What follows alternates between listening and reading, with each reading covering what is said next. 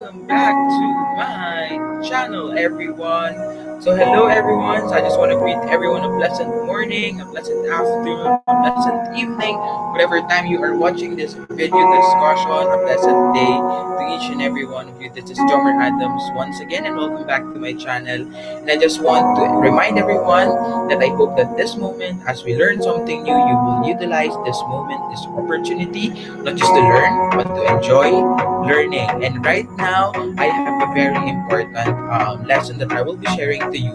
So, the first time we discussed about your spectrophotometer, we discussed your atomic absorption spectrophotometry, we're finished with your fluorometry, and we're actually down to our last topic, which is all about your electrophoresis. And your electrophoresis is one important instrumentation as well in the clinical chemistry, not only in clinical chemistry, but also in molecular biology, when we try to fractionalize your DNA and other proteins that we actually isolate.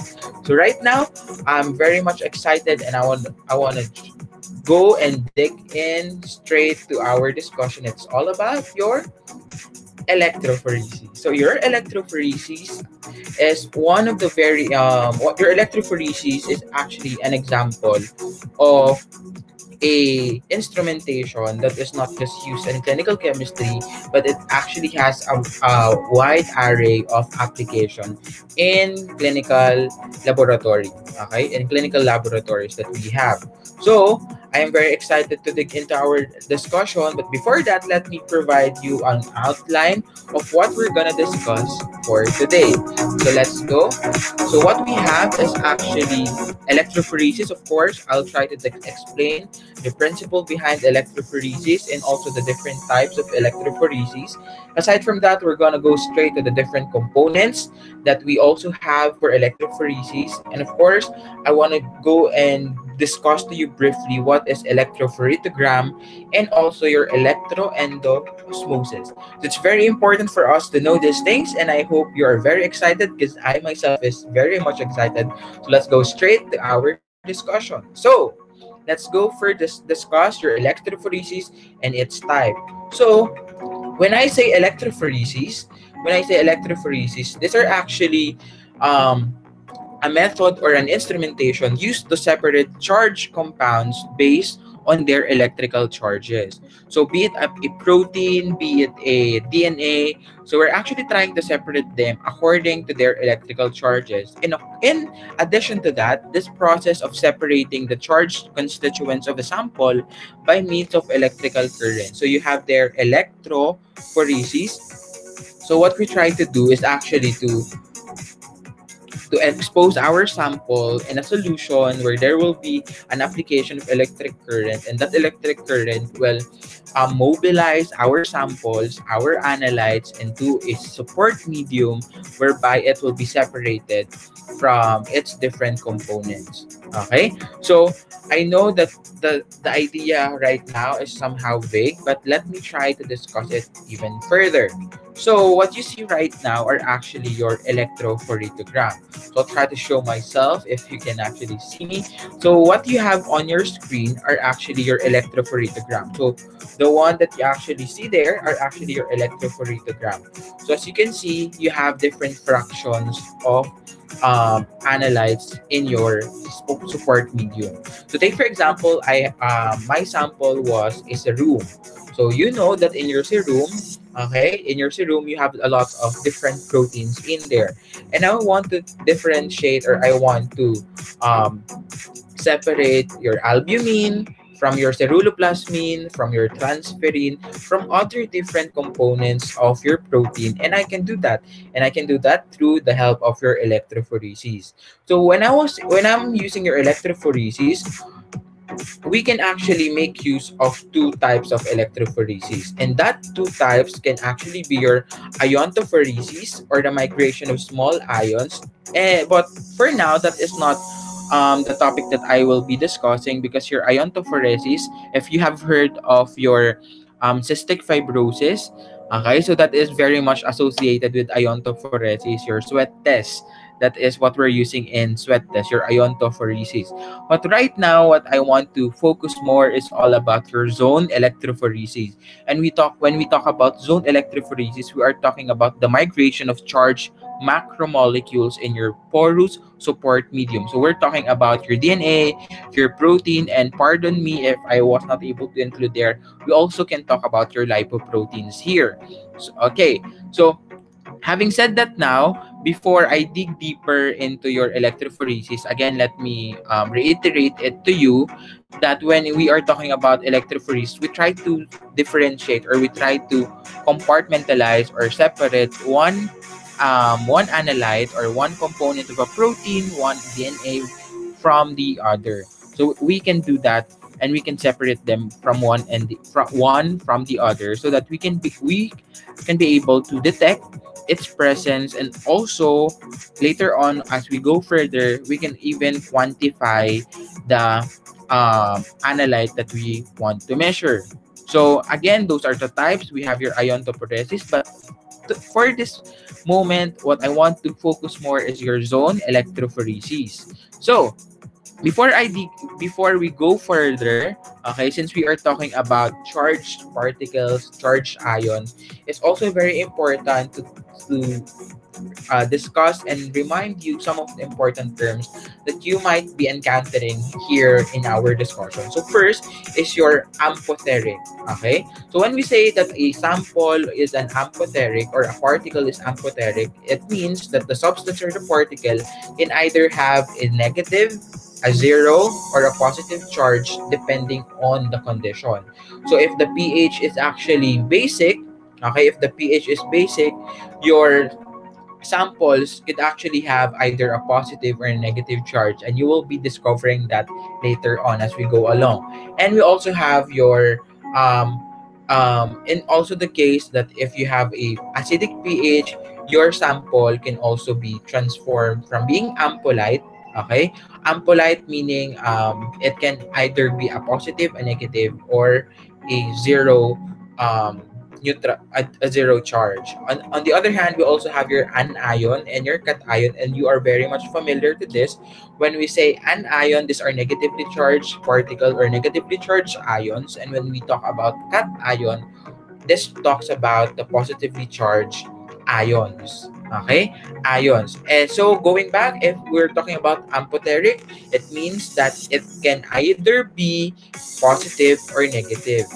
If it is negatively charged ion, it's an ion. If it is positively charged, it's an ion. But maybe some of you are wondering, sir, will there be a chance that a particle can be both positive and negatively charged at the same time? Yes, that is possible. And we call them Zweiter ion. Zwitterion is both positively charged and negatively charged at the very same time. Aside from that, aside from amphoteric or ampholyte, an ion and cation, other important terms that you also need to remember are of course the different um, the different um, factors affecting the mobility of a particular particles. So one of the um, one of the factors that could actually affect the mobility of your particles in your electrophoresis are as follows. The net charge of the particle, particle. So whether it is an ion, cation, or whatsoever, the size and the shape of the particle, of course. Later on, as we go along, you'll realize why am I saying this? The strength of the electric field, the chemical and physical properties of the medium, and of course, the electrophoretic temperature. Those are very important terms that you need to remember, and those things are will, will be discussed as we go along. So let's move on. So let's move on now to the different um, to the different components of your electrophoresis.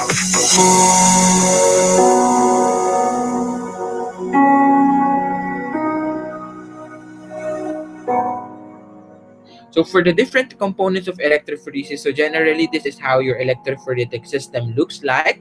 So what are the different components? First, we have here, of course, your power supply. We have here your we have here your buffer. You have here your support medium. Of course, it's very important to have your sample, and of course, your detecting system. And your detecting system could vary from um, the need or the capability or the demand of your test. So let's go first to our first component, which is your power supply. And let's say hello to Pikachu, giving us the power to discuss this lesson. So for the power supply, this actually is the one that supplies your what? This supplies the current or the voltage in the system. It is also known as your driving force. Why? Because it drives the molecule through the support medium. And aside from that, your voltage depends on the ionic strength of the buffer. So we'll try to tie it one by one as we go along. Okay, so for the power supply, when we talk about power supply, again, we are talking about the driving force. Of course, your um, your samples upon application to your support medium will be stationary. So what you want is actually to expose it to electrical current or your your current or your voltage to allow it to move through or to be to mobilize within the support medium. And when we are talking about your your power supply, it's also very much important to talk about your buffer. Not that buffer, okay, not that buffering because of the internet that we have here in the Philippines, but the buffer that I am talking is the one that provides ion that carry the current and maintain the pH at a relatively constant value. So your buffer actually has what? It ha- actually has two functions. It actually has two functions. One is to provide ion that will carry the current and will cause the analyte to move through the support medium. And aside from that, it also maintain your pH, very much similar to the, the function buffer within our body. When it comes to electrophoresis, the, the buffer also maintains the pH at a relatively constant value. And it's very important. Okay? So the ion now, okay, talking about the ion that is within the buffer, the ion will enable the movement of the current and the migration of your particles. So that's what I was mentioning a while back. So upon the application of the buffer and the power supply, it's very important. Aside from that, very important for you to know is that your buffer um, your buffer greatly affects your electrophoretic system or your electrophoresis system and of course your analyte because your pH and your ionic strength both affect your analyte. And in other term, okay, in, in its simplest term, your buffer actually is a mixture of your proton donating and proton accepting substances that functions to maintain your pH at a constant. So usually we are using your barbital or your veronal buffer and we also use your tris-boric EDTA and I hope you still remember what EDTA means, okay? So your barbital or your veronal pH is at 8.6 pH and your tris-boric EDTA is at pH 8.7. So your EDTA, your ethylene diamine tetraacetic acid. Yes, correct.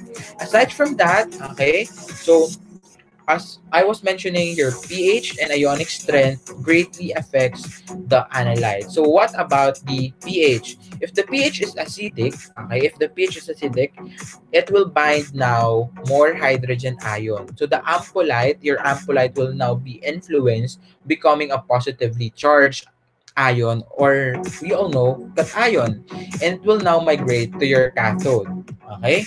So we also have if the pH is basic it actually start to lose your hydrogen ion and your ampolyte becomes a negatively charged ion which we know as an ion. It will now migrate to your anode. And maybe some of you are wondering what are cathode and what are anode. So if we're gonna go back to your electrochemistry, your cathode is the negatively charged electrode and your anode is your positively charged electrode. Okay? Yes, cathode, cathode is the positively charged electrode and your anode is your positively charged electrode. This is very much different from the ion, and ion and cation that we are talking about. So I hope it's very much clear with you. So you all know that pos your opposite at opposite charge attracts. So if your cation is negatively charged, it will now start to migrate to your cathode, which is a positively which is a negatively charged electrode and your an ion on the other hand your negatively charged ion will migrate to your positively charged electrode, also known as your anode. So, that is the effect of your pH. Kapag yung pH mo acidic, i-influence niya yung analyte mo. And this is very important and very, true when it comes to protein because protein is an, is an ampholyte. So the posit- the charge of your protein will greatly depend on the buffer or the system that it's um, in. So if it is positive or if it is a basic or if it is an alkaline solution, it will also start to change its charge. So moving on now, we also have your ionic strength. And we are talking about your ionic strength. This now will greatly affect the voltage or the electrical charge or the electrical current that we will be applying to the system. So if you have low ionic strength, you will start, uh, if you have low ionic strength, more charge will be carried and then it will have a faster mobility. If it is high ionic strength, less charge will be carried because it will still have to pass through many ions. So it will have slower mobility. So what I'm trying to say is that um, you have to have a constant voltage and electric current to be applied in your system. And you have to take consideration your ionic strength. And where do you find your ionic strength? It is um, being contributed by your buffer. Okay so when we are talking about buffer there's a lot of things to remember of course that buffer first and foremost um, um, facilitate the transfer of current through its ion and also your buffer maintains the pH of your system. Again, going back, your buffer greatly affects your analyte by means of its pH and its ionic strength. You all know now what is the relationship between your pH and your your analyte and also your ionic strength and of course the voltage. And maybe you're wondering how is it related to your analyte? So um, the faster or the slower the migration of your analyte depends on the ionic strength and your voltage as well. So, having said that, let's move on. So, aside from that, we also have your support media. Yes, just like us humans, we have support system. So goes our analyte. They also need some support system. Yes. So your support system so these are network of interacting fibers or polymers that is solid but drops large amount of solvent in its pores or channel inside. So don't try to look at my face. I'm not pertaining to the pores within my face, but the pores within our support media. So one very important um uh what do you call this? One very important um, reminder in selecting a support media, it should not interact with your analyte. What you want is only your uh, what you want is for your analyte to just pass through your support media. And you don't want your support media to be affecting your analyte. And we actually call that electroendosmosis which i will be discussing by the end of this video. So that is one reason why we are we're going to discuss your electroendosmosis. So we actually have I will be discussing three support media. We have your cellulose acetate, we have your agarose gel, and we also have your polyacrylamide gel. So are you excited? Let's dig in. All right. The first and foremost that we are going to discuss is your cellulose acetate. And when we are talking about cellulose acetate, it is a cellulose that is acetylated to form your cellulose acetate by treating it with your acetic anhydride. So your cellulose acetate, as you can see, I actually got this picture from, um, this is actually a, a cellulose acetate membrane, but I just showed this for you to be able to see that it actually has microscopic pores and this is where your um, this is where your analytes will be passing through. So your cellulose acetate can be able to separate your serum protein into five bands. Okay, so it can actually separate it from its from the albumin, from the alpha one, alpha two, from the beta, and also from your gamma globulins. Okay, so most of the time, as what I was mentioning, your isoelectric focusing is very much famous and very much useful in doing your electrophoresis for your protein. And usually, the um, support medium of um, of choice would be your cellulose acetate. So what I want to remind everyone is that when you're using your cellulose acetate, yeah, yeah, this one, this one. So when you're using your cellulose acetate, it actually will be separating your proteins into five bands. So imagine if you have your proteins homogeneously, um, homogeneously mixed within your plasma, within your serum. So you will be able to separate them into five different bands. Okay. So aside from cellulose acetate, we also have your agarose gel. So your agarose gel is actually a purified fraction of agar from your red algae. So one very good feature of your agarose gel is it's neutral. Thus, it does not produce electroendosmosis. So what do we mean by electroendosmosis? Up, up, up. I'll be explaining that on the last video. I am getting ahead of myself as well. So unlike comparing now your cellulose acetate from your agarose gel, your cellulose acetate can only separate your proteins into five bands. But your agarose gel cannot just separate it into five but it can separate it from 10 to 15 bands. So you can actually start to classify not only albumin, alpha 1, not just your albumin and your globulin, your alpha 1, alpha 2, beta, and your gamma, but you can actually start to classify them according to its um, according to its um, different types. Like your, take for example, your hemoglobin, that is a protein, your ceruloplasmin, your transferrin, your hemopexin, your alpha 1, antitrypsin, your alpha 2, macroglobulin, all of those things you can separate it using your agarose gel. And one key feature of agarose gel again, it does not produce electroendosmosis. Okay?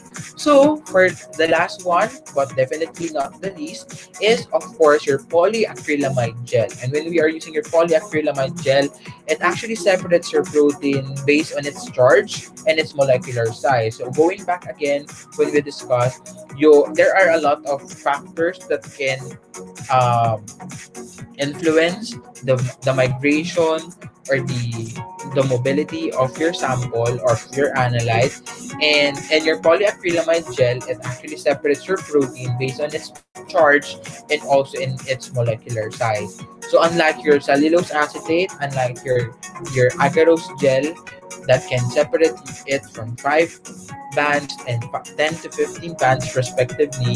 For your polyacrylamide gel, we actually can separate your proteins into 20 or more fractions. And this is very important in actually determining the isoenzyme. So you all know that there are different classes of enzymes, correct? You did that in your biochemistry and you will be seeing that again in your clinical chemistry, enzymology.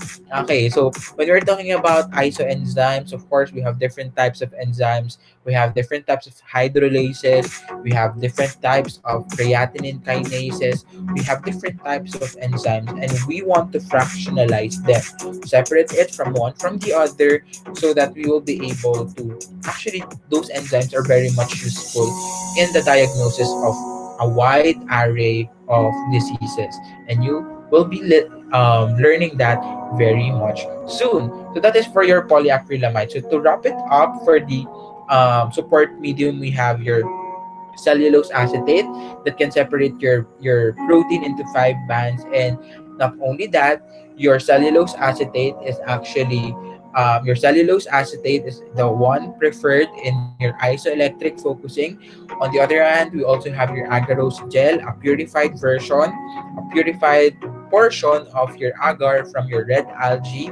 So it, it is neutral, it doesn't produce electroendosmosis, and aside from that, it can separate your protein into 10 to 15 bands. And of course, not but definitely not never the least is your polyacrylamide gel that is can separate your protein according to its charges and according to its sizes. Not only that, it can also be used in isoenzyme determination because it can separate your protein into 20 or more bands. Okay, so moving on now to our moving on now to our um, discussion, we also have here, of course, the dispensing of your sample. And I hope you can see it clearly.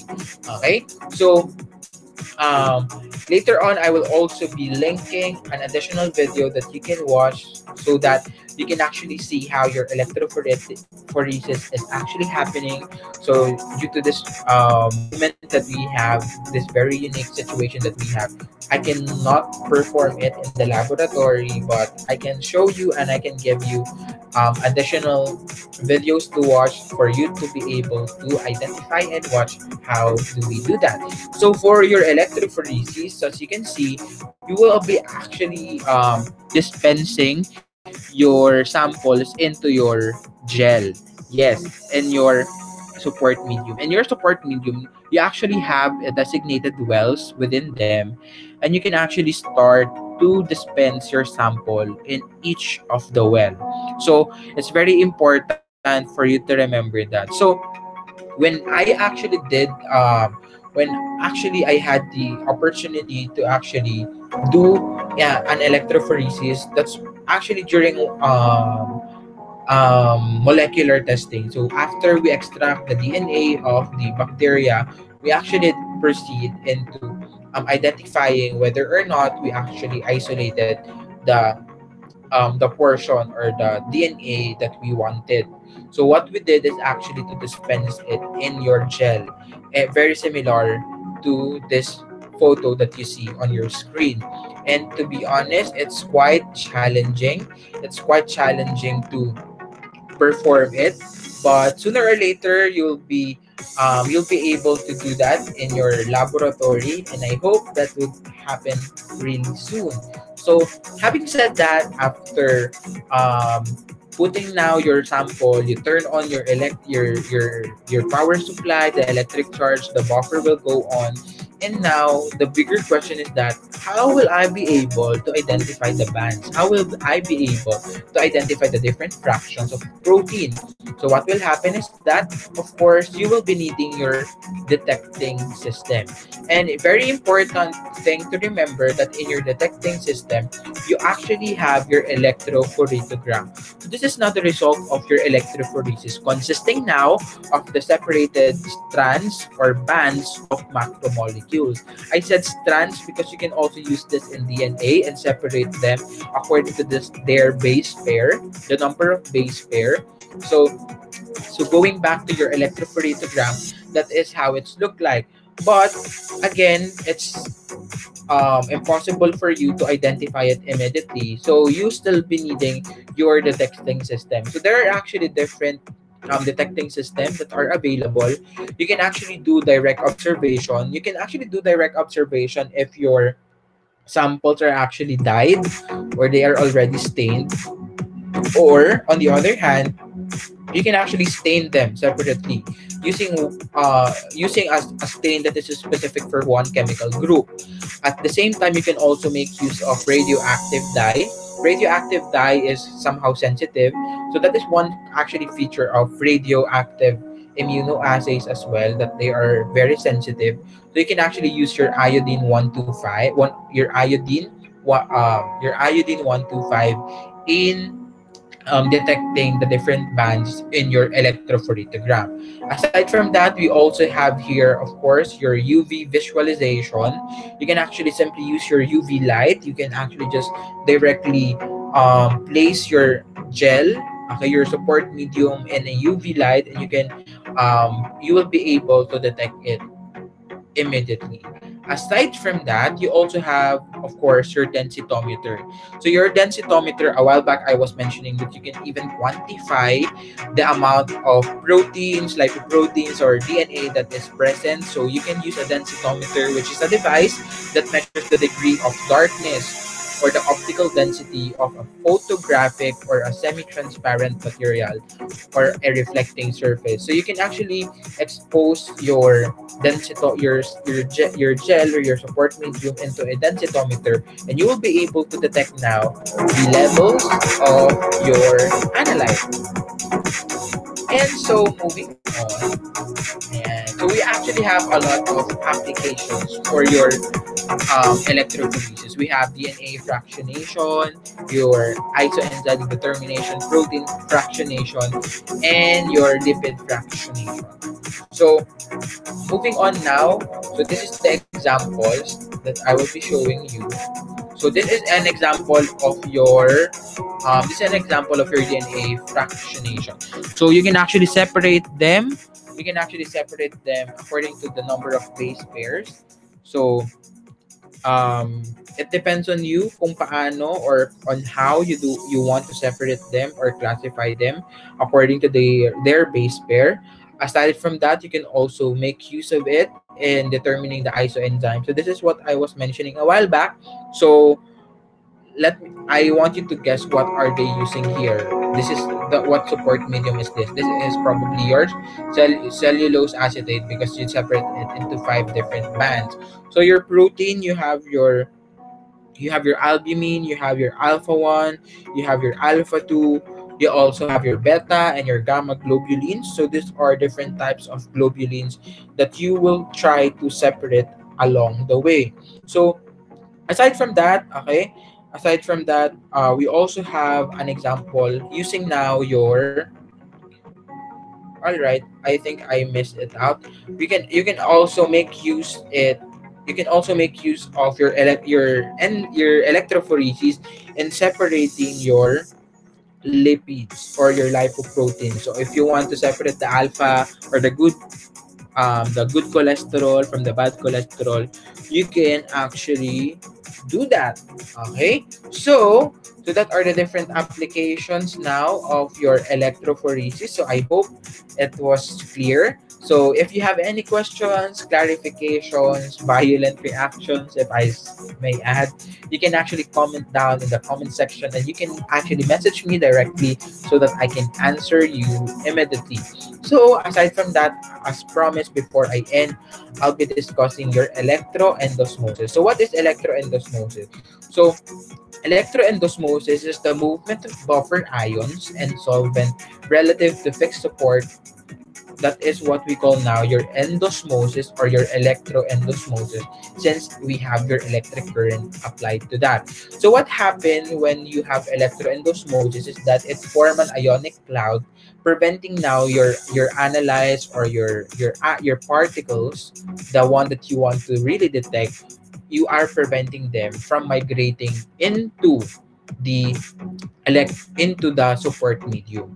So when we are when that happens, your sample will no longer be able to migrate and you will no longer be able to um, separate them from one fraction from the other. So that is very important. So aside from that, aside from that, um, uh, before I end, similar things that you will actually be hearing when we are talking about your electrophoresis are of course the the fastest and the slowest migrate the the slowest migration. So when we go along the um, enzyme is um, the enzyme enzyme or the isoenzyme determination rather so the isoenzyme determination you will be able to separate them so the fastest and the slowest, you will be able to identify which one is that. And that's very important again because take for example in your crea your your LDH, okay, your lactate dehydrogenase can actually have different isoforms. They have five isoforms. So usually what we have is that the most abundant and the fastest migrating is actually your L LDH2 Okay? So you can actually have those things along the way. So you will be able to separate LDH2 from LDH1 because that's on a normal patient. But in the case that your LDH1 increases more than your LDH2, then that is your acute myocardial infarction or your heart attack. And that's another um, way how you separate that. Okay, so elect- electrophoresis is very important because you will be able to separate that um, LDH2 from LDH1. Okay, so so much about that. Okay, so much about that. Um, let's go on and let's go back to our to the what we are discussing. So we were actually going through your electrophoresis, the types, the components, the electrophoretogram, the detecting system, and of course electroendosmosis. So if you still have other questions that you want me to answer that are are bothering you right now, so please do feel free to comment down below and leave a message on my email. So let's just have a quick checklist. Okay, so we finish electrophoresis, we finish your, your the different types, your iontophoresis and your zone electrophoresis, the components, the electrophoretogram, and also your electroendosmosis. So that would be all that we will be discussing. So before I leave, I just want to leave you this quote from Martin Luther King Jr. Intelligence plus character. That is the true goal of education. So thank you so much. Again, this is Jomar Adams. If you have any questions, feel free to comment down below. So feel free to comment down below. Or you can also consider uh, messaging me through my email to get a response as well. So thank you so much. Again, this is Jomar Adams. Okay, this is Jomar Adams, and I hope to see you again on our next video. And of course, okay, like what I always remind everyone, um, I hope everyone is doing well, and I hope everyone is enjoying your time learning right now. So I know that you have a lot of time, and maybe we're on different situations, but I hope that you will never forget to also enjoy learning as well. So thank you so much. This has been Jomer Adams again. Okay, this has been Jomer Adams, and of course, may I request everyone to please do like, share, and this video to your classmates, to your fellow medical technologists, or anyone that you think would would need and would uh, be appreciating this video. And of course, do not forget to subscribe to be updated for the latest video uploads that I will be doing. And of course, before I leave, so I was I am actually planning to make a study with me video. So um, in there, I'm planning to share a a technique that I am using in actually familiarizing uh, my lessons not only for uh, for my teaching but also for my grad school. So if you want to learn that so please um, if you want me to do some videos about that so please comment down below if you want to see more of those videos and i will be making one very soon. So again thank you so much for tuning in with me. This has been Jomar Adam, and I'll see you next time on the next video. Bye!